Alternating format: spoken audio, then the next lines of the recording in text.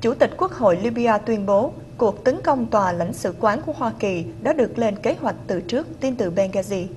Chủ tịch Mohamed Magharev của Quốc hội Libya nói rằng vụ tấn công tòa lãnh sự Hoa Kỳ ở Benghazi là một vụ tấn công được lên kế hoạch từ trước, không phải là phản ứng bất ngờ đối với cuốn phim nhục mạ giáo chủ Hồi giáo.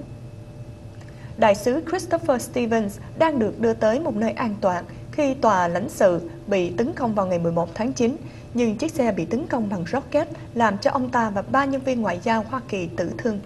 Trong ngày thứ Sáu, một phát ngôn viên của Tổng thống Barack Obama nói rằng không có bằng chứng nào cho thấy vụ tấn công được lên kế hoạch từ trước. Nhưng Al-Qaeda trên bán đảo Ả Rập đưa ra một bản tuyên bố nói rằng vụ tấn công nhằm trả thù cái chết của ông Abu Yahya al-Libi là một người Libya chỉ huy Al-Qaeda Pakistan.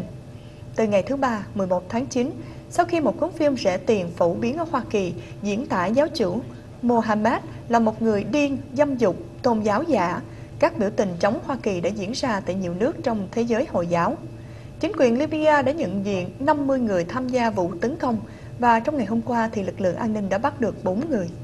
Chính phủ Libya đã xin lỗi Hoa Kỳ và thề sẽ đưa những người có liên hệ trong vụ tấn công ra trước công lý.